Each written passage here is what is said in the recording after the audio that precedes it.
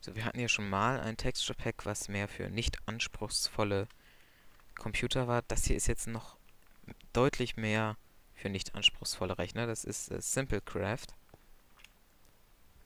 Das ist noch simpler gehalten als äh, das letzte Texture Pack, was dafür war.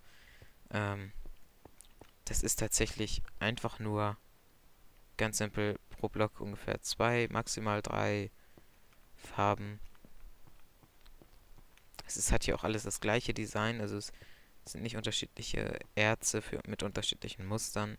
Ähm, das hier ist mal eine Ausnahme, das hat mal ein paar mehr Farben, aber auch hier, wenn man mal näher ranguckt, es sieht tatsächlich einfach nicht unscharf aus, dadurch, dass es so, ähm, ja, so einfach gehalten ist. Es ist natürlich eine interessante Idee.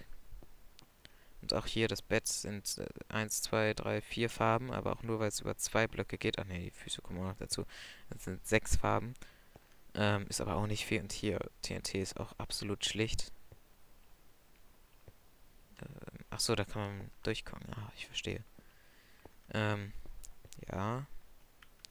Und besonders bei Lava sieht man das, wie, wie einfach das gehalten ist tatsächlich. Gut, das ist natürlich auch wieder ähm, eigentlich nur für PCs, die es sonst nicht packen würden, also Minecraft nicht packen würden. Ansonsten sucht man sich natürlich schöner aus. Ich meine, das jetzt Erde zu erkennen, ist schwer. Es könnte auch eine Truhe sein. Aber es ist trotzdem ganz nett.